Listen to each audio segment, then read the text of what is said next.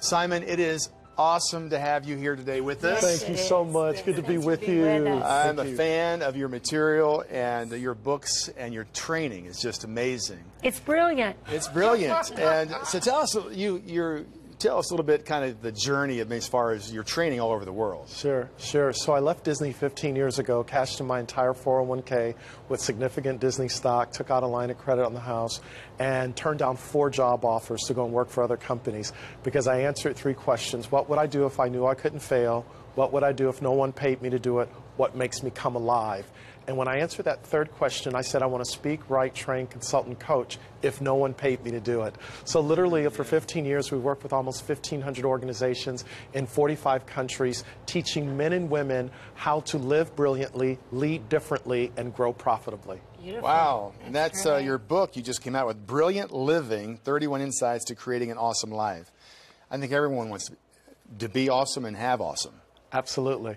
Well, it really starts with understanding average is over, average is done, average is history. So you might as well be brilliant while you are here for the rest of your life. Absolutely. So what I recognize is that in a very busy world that we're in, how can I begin to teach people insights that I've learned from companies and top performers from all over the world in two minutes or less?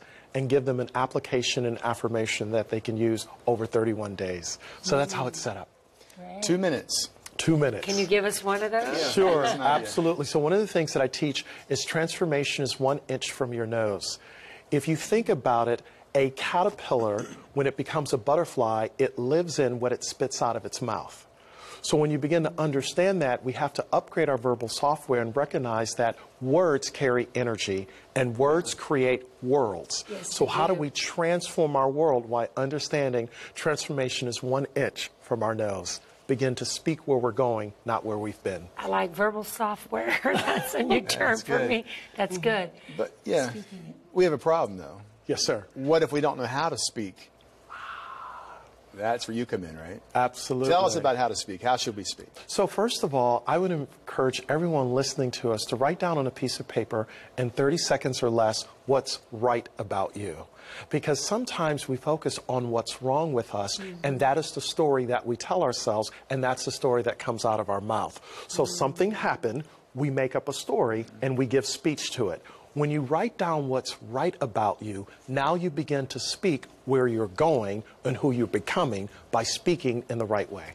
Good. that's that's cool. excellent. I think that's in the Word of God, isn't it? It is! It's a principle. Uh, yeah, exactly. You right. copied that out of the word. Yeah. yeah. So, what kind of stories have you seen as far as transformation of people's lives when they apply these principles, what they speak about themselves to others, how they see themselves, what they say? One of the emails we received from a mother, she said that she is a bonus mother. She has a stepdaughter that she is trying to build a relationship with. And she began to read the first step of creating an awesome life on Dare to Be Brilliant. And her stepdaughter said, Well, how do I dare to be brilliant? What does that mean? And she began to tell her about understanding your strengths in life, what makes you unique. Well, literally, they started a puzzle based on reading the book, and they went out to Shutterfly and asked Shutterfly to create puzzle pieces that spoke to the strengths of her 12 year old daughter. She said Shutterfly sent her back a 225 piece puzzle that they put together. Now it lives on the wall of her 12 year old stepdaughter, and she says, I know what my strengths are. I don't have to worry about being average. And when we read it, I was like, oh my goodness. So now we call it the strength puzzle. And we're going to share that story to encourage other parents to begin to help your teenagers understand school grades you on the average, but if you see yourself as brilliant, you exceed average scores. Good. Excellent. awesome. Excellent. As we think we are, right? Absolutely. And so when you start with kids and you start putting that in them at an early age, Early age. instead of speaking curses over their life, you're dumb, you can't do this, you never would. Why uh, would you think you could do that? Yes. Tell us the uh, the culture. I mean, how do most people live? I mean, tell us the problem. You know, how how were we trained? How do people live life?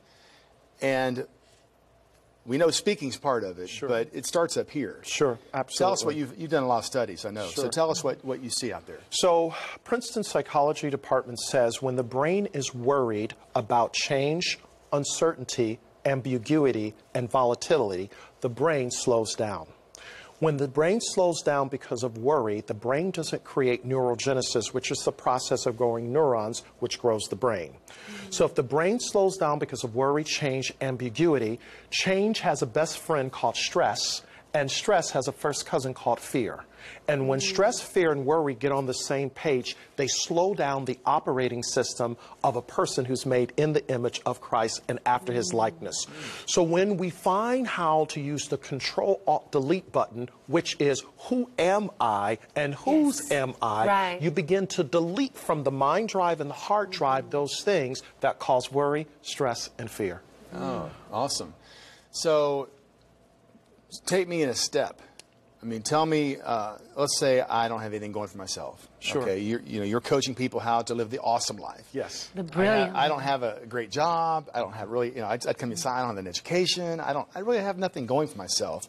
How am I going to live the brilliant life you're talking about? First thing you have to start with is seeing your life as a puzzle. And whatever's happened to you is just a piece of the puzzle. So the first thing I begin to examine where have I been? And the where have I been question is how did I get to this point? What have I learned? How have I grown? The second question is why am I here? Now, the why am I here is not why did my mom meet my dad, but, but why are you here, right? The third question is what can I do? Because so many people focus on this has happened and I can't do anything about it. But the what can I do question becomes the bridge to where you want to go. Yes. And then the fourth question is the strategy or the plan where am I going?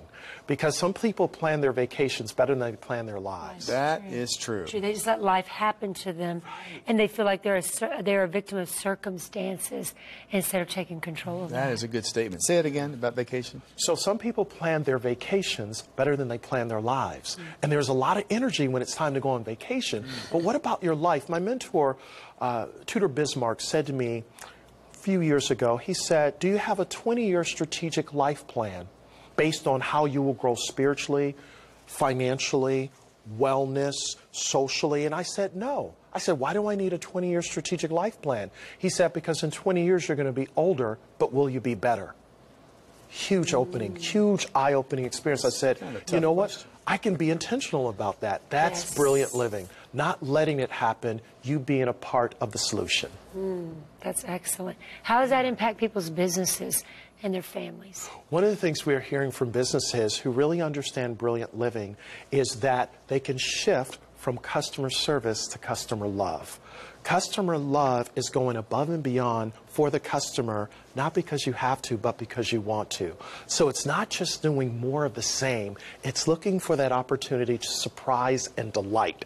That's brilliant. That's not average. Right, like vacation. totally, totally. So people get excited about vacation, and plan it so well because that's something they're enjoying. But a lot of times they're not enjoying their job or what they're doing with their life. Right. And brilliant living is really that invitation to your point to understand that a job means just overboard. But quit your job and go to work. Because when you go to work, you make the joyfulness of the job come alive. That's beautiful. Okay, we got to get back on that one. When we come back here in just a minute, we're going to ask a little more definition on that last bit you just talked Okay. about, how to enjoy the journey when we come right back.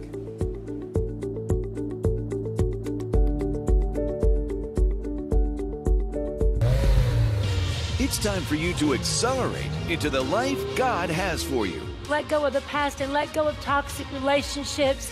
Do whatever you have to do to stay on the vision. You need the life changing teachings from this year's Provision Entrepreneurs Conference to get to the next level and experience something completely new. Get all seven Power Pack mentorship teachings from this year's Provision Conference main sessions on CDs or DVDs and get started. I'm saying to you, don't you let go. Don't you quit. You obey God. Do what He's called you to do. It's going to infect other people's. Gary Keesee shares an amazing, critically important two part message of kingdom growth the nine laws of acceleration. The Lord spoke to me in a dream and said, Gary, there's nine laws of acceleration you need to do to get to your destiny. Number five is the law of strategy. Now, this is, they're all very important.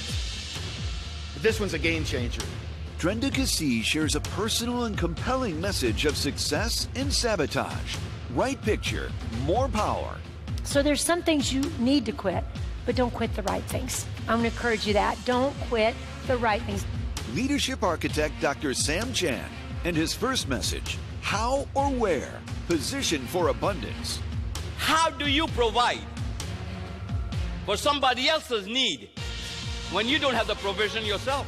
In his second message, Dr. Chand energized the room with seven steps to your destiny. It doesn't matter what business you are in, you have to think about what's my product, the process, and then the people. Also at this year's conference, Leadership Imagineer Simon T. Bailey returns with two messages of brilliance and competitive advantage.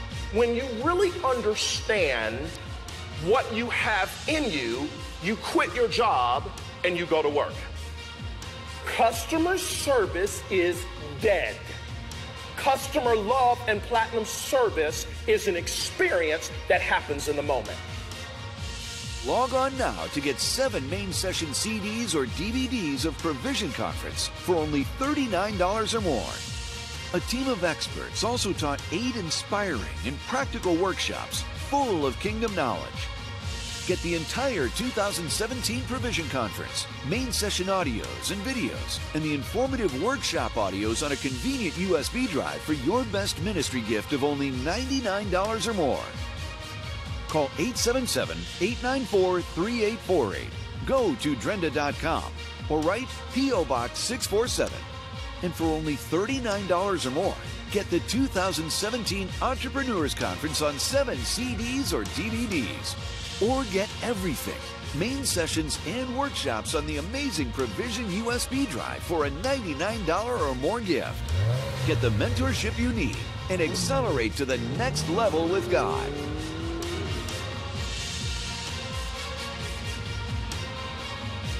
Discover your potential and grow in the kingdom.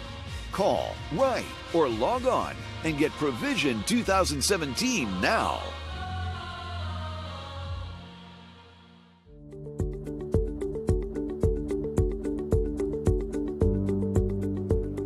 We're here with Simon Bailey, author of Brilliant Living. You need to get this book 31 Ways to Have an Awesome Life, to create something beautiful in your life, not just survive, but thrive.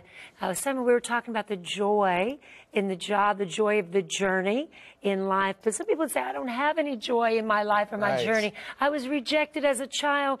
Things were hard for me. What would you say to someone who's had a lot of rejection and because of that, a lot of emotional baggage? Understood. So, first of all, joy is enthusiasm. Mm-hmm. Enthusiasm means crammed up full of God. when I am enthusiastic, That's no matter what I'm in, I recognize that what I have been through, I got through. Mm-hmm. I can move to what's awaiting me, but I can't get to till I move through all of the things that I've been. So I experienced rejection. And, and one of the things that I experienced in rejection, I had been going to a company for 10 years, asking them, you know, please put me on your platform. And they said no, because you're not that good. And I took it personal, but what I recognized, they had just given me a gift. When I stopped chasing them and I went and hired two coaches to understand how do I improve, how do I up my game, I went back to them and they said, not only do we want you, we want you to do XYZ. What I recognized that that rejection became the open door for me finding the joy in my love again and serving the body of Christ. That's beautiful. So you got better, not bitter. Exactly, You decided better, to not bitter. take the criticism and do something constructive with it. Yes. And what do you do if criticism comes from someone that really is not a fan that's trying to help you or someone that's trying to encourage your life? They're really just against you. Yes. Does that still work for that case as well? You know, I think there's three things. Number one, Holy Spirit, where are they coming from? Because people don't see you as you are, they see you as they are. And sometimes they project. So, Holy Spirit, where are they coming from? The second thing is, did they awaken something in me that has been buried that I haven't dealt with? Because mm-hmm. whatever you don't deal with will eventually deal with you. And sometimes it gets you, they catch you on the wrong day, right? So you really have to study yourself and say, okay, where's this coming from? But then the third thing is, how do I begin to hear in the spirit it was given and either address it or delete it and go from there. You know, because sometimes people, they don't deal with their stuff and they put it on you. So I really, Right, really ask the Holy Spirit, and that's why I encourage everyone listening to us to say, where does this really come from?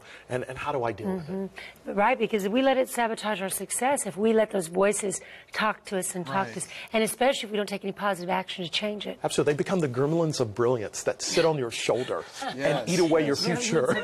Yes. yes. Well, let's just, can we define brill- brilliance? Let's define what the brilliant life is. The brilliant life is the God it factor that shines brilliantly from you. When you understand that God it factor, that thing that makes you come alive, you can walk into a room and you're not in the room, the room is in you because the very presence and the brilliance of God fills the room. You fill the room with your spirit. Are you, are you meaning uh, a person's unique gifting or passion? Or what? gifting, your talent, your ability, whatever you've been called to do, that's the brilliance of God. I know I've talked to you before, and a lot of people feel stuck. Mm-hmm. You know, study shows 70% of people don't like their job, 30 some mm-hmm. percent hate their job. Mm.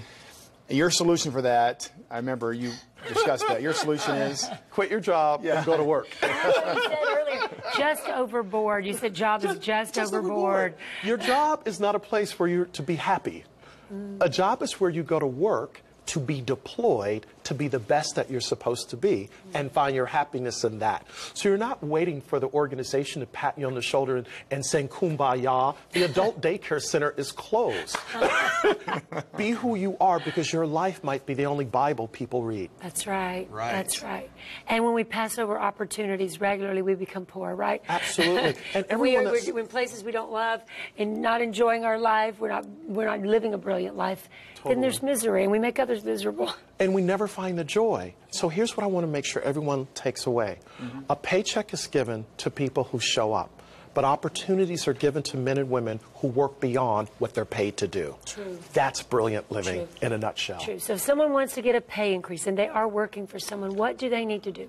Number one, go to your boss. What can I take off your plate? What is that that you hate doing that I can do? Number two, raise your hands for projects that nobody wants to do. Number three, when you're given an assignment, do it pristine.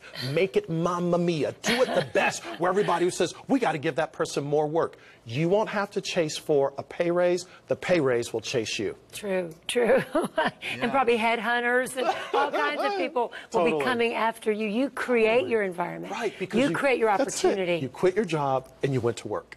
talking about uh, doing things with brilliance. Uh, I know I've heard you speak about customer service. Yes. And going the extra mile, not with your boss, but the interaction with people in your position. And you talked about that. Could you? You had several steps Yes. that I remember you went through, but that was I thought that was brilliant. Customer love is all about the spark. How do we begin to see our customers as guests? How do we personalize the experience? How do we anticipate and go above and beyond what they need? How do we respond immediately, be uber responsive? And then how do we keep them loyal by surprising them and delighting them? Remembering the birthday, the anniversary of when they first dealt with our business. When you become the spark, you give platinum service with a brilliant touch. It's all about culture, right? It's about setting the culture. Culture is how we do things. And culture in any business happens when no one is looking. We have That's lots the of, real culture. Of business people. And it is a competitive market, even more so now. So you're saying they take it there, right? Totally. They have to They to survive to. in this, and not just survive, but to be the best. Yes. What you expect, you inspect. And you inspect to make sure the culture understands that the mission and values don't live on the wall, they live in the head, the heart, and the hands. And when that alignment comes, the feet will follow. Good, good. Hmm, when is the right time to let someone go? If a, a business owner is saying, I have struggles in my business and employees, we're not getting along with things. When is the right time and when is, what is, what is fixable? Yeah, three things. Number one, the moment you get feedback from staff that there's a rotten, a rotten apple in the bunch, it's got to go. Coach them up, coach them out. The second thing is I always like to give people as many chances as possible because sometimes people are dealing with external things Sure. that they bring to work. So you want to bring them to a place of healing. Mm-hmm. But if that person will not get on the bus, invite them to find their happiness elsewhere. And then the third thing is to recognize that there are some people who just want to have a bad attitude. And you know what? We bless them, we love them, but we release them into their destiny. Right, right. It's part of their coaching, right? Absolutely. Because they, they're hurting themselves and then they're hurting the team. and they're not in destiny. Hmm. Sometimes they're out of place. Yes. They're in the wrong lane because the job may have worked to a point and it no longer fills their cup or feeds their soul. So we bless them, we love them, and we got to know when to hold them, know when to fold them, know when to walk away, know when to run. For their sake as well, right? their That's sake good. as well. Yes, Absolutely. Fine. I want we got about a minute left here. I want to mention this book again. So it's 31 insights to creating an awesome life. I assume that is like a daily devotional. it is, totally. So uh, two minutes a day, Two minutes a day. giving insights that kind of reprogram their. And there's an affirmation, but most importantly, there's an application. Because I, le- I believe we're living in a time where people need application that they can apply mm-hmm. immediately.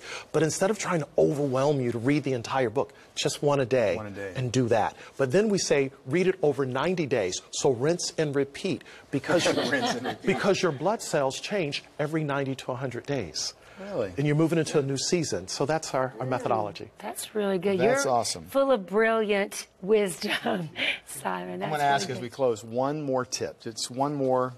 You got one more? Yeah, so one of my favorite tips is to recognize whatever has happened in life is just a piece of the puzzle. When I left Disney to go and do this work, I recognized that there were people that I met in my journey who helped me. And when I came back to them to say, hey, here's what I'm doing, I recognized, oh my goodness, everything I went through was just a piece of the puzzle. And when you zoom out and you see the big picture, you recognize that what God has put in you is the missing piece of the puzzle. Good. Excellent. Awesome. Excellent. Well, it has been brilliant and amazing to have you with us today. Thank you. I love Yes, you guys. We love you too. We love what you you're so doing you. and empowering people and businesses to grow and to prosper. It's beautiful. Thank you. And thank you for the, the book and all you're doing across the, the world, the nations. Thank you so much. Inspiring people. Thank, you so Thank much. you so much. Love you guys. God bless you. Thank you.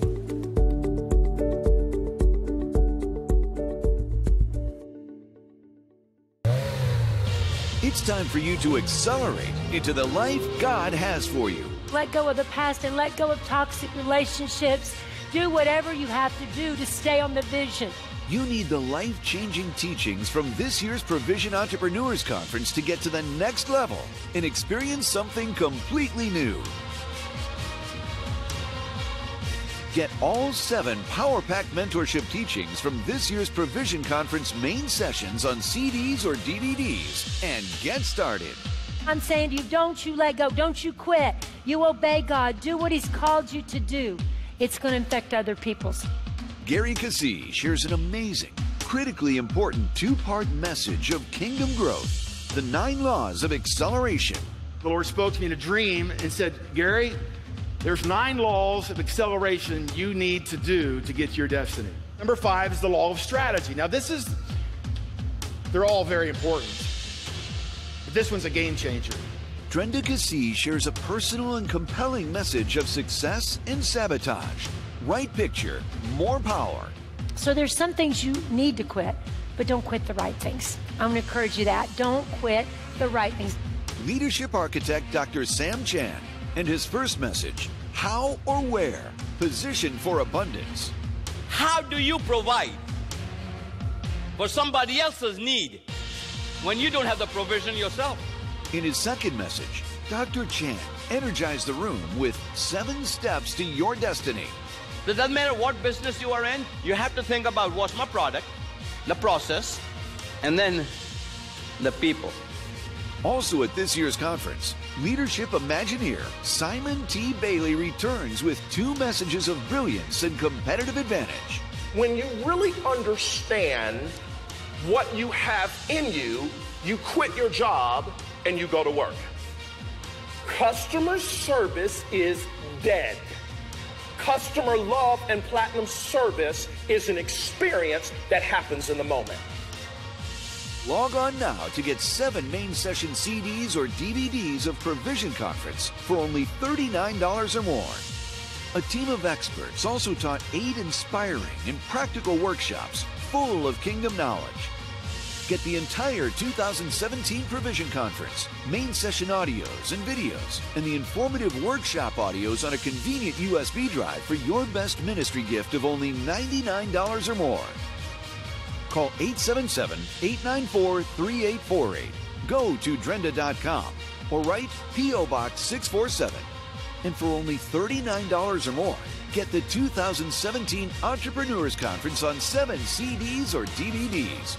Or get everything main sessions and workshops on the amazing Provision USB drive for a $99 or more gift. Get the mentorship you need and accelerate to the next level with God.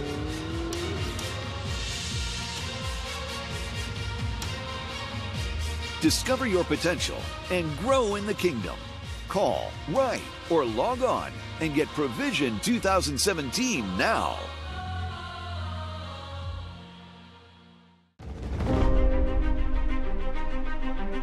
There's no limit to what God wants to do in your life. You're the limit. Tear the wall down. Your kingdom, your authority come, your will be done on earth as it is in heaven. There's a major key. What's in heaven is supposed to be in your life, but you have to bring it here.